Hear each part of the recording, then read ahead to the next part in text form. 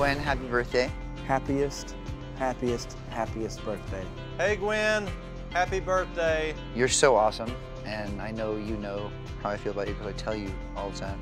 I've laughed so much with you this season, and you're so great and so radical, and I love you, and happy birthday. I'm so happy for you that you lived another year, and I would have never, ever, ever have dreamed in my life that you and I would end up becoming friends. I never even thought I would ever meet you. So, so glad you're in my life now. I love you. Happy birthday. I think you know how much this world loves and appreciates you, and I think you know how much you've touched so many people's hearts. Just, you've moved a generation. So I wish you the happiest birthday and many, many more. Love you.